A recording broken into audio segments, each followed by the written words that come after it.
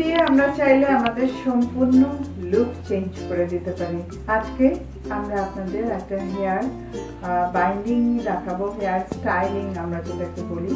সূর্যকে আজকে একটা নিউ লুক দেওয়া হচ্ছে। প্রথমেই চুলটাকে একটু হালকা ভাবে আমরা ভ্যাকুয়াম করে নিচ্ছি। একটু স্প্রে করে নিতে হবে স্প্রে দিয়ে কালটা করলে কালটা বেশ কিছুক্ষণ থাকে। এরপর কালার মেশিন দিয়ে কাল করতে হবে। আসলে নানা ধরনের হেয়ার কাট এবং হেয়ার ডিজাইন আমরা করি। তবে সেই ক্ষেত্রে আমার ফেসের শেপটা কি সেটা জানা অত্যন্ত জরুরি। কারোর থাকে রাউন্ড ফেস ওভাল ফেস কারোর হার্ট শেপ কারোর কপাল ছোট কারোর কপাল বড়। তো সেইটা বুঝেই কিন্তু আমরা হেয়ার স্টাইলিংগুলো করি।